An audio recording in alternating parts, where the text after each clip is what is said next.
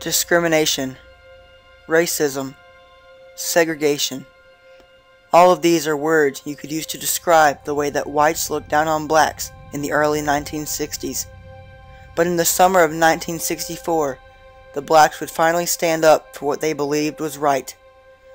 Many civil rights organizations such as the Congress of Racial Equality and the Student Nonviolent Coordinating Committee came together to create a project, a project in which the rates of black voting in the South would expand.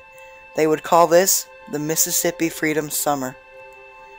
The project was run as a whole by the local Council of Federated Organizations, also known as the COFO.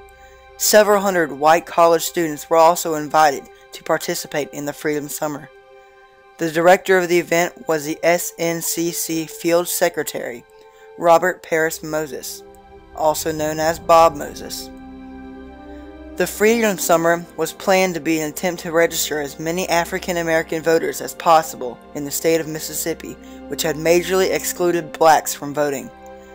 The project would also set up many freedom schools and freedom churches in small towns to help aid the local black population. Over the course of the 10 week project, 1,000 people were arrested, 80 workers were beaten, 37 churches and 30 black homes were either bombed or burned, and 4 people were critically wounded. The Mississippi Freedom Summer was held almost completely statewide and consisted of marches, speeches, and many non harmful protests. A group of around 15,000 people marched from Memphis, Tennessee to Jackson, Mississippi during the march, many people were killed by gunmen who disagreed with the opinions of blacks. But this only caused more blacks to join in and help protest. Both blacks and whites came from across the state to help participate in the march. In the end, the Mississippi Freedom Summer did not succeed in getting many voters registered, but it did have a major effect on the civil rights movement. Before the Freedom Summer, the news media had paid little to no attention to the discrimination of black voters in the South.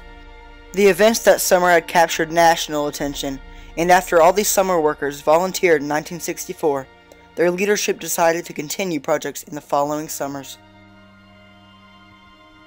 In relevance to Black Like Me, the Mississippi Freedom Summer was partly made up of white people who wanted to bring a change to the ways that Negroes were treated. Just like Griffin, the whites that were a part of the project were constantly harassed and made fun of. Also, Griffin and the whites were able to walk and communicate with the Negroes as friends.